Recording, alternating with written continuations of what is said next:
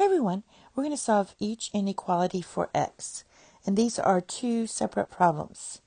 So for the first one, I have this, and I'm going to rewrite it in this format.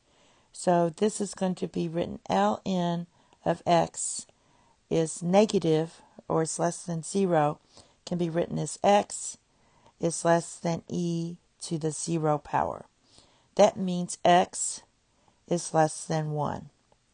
Now, since the domain of f of x for logarithms, if for our natural logarithms, is x has to be positive, then the solution of our original inequality is going to be x has to start at 0. It can't be 0, and it's also going to be less than 1.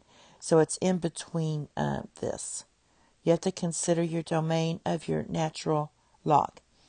All right, let's start with the second one. And the second one, um, we can just take e to the x is greater than 5 and take ln of both sides.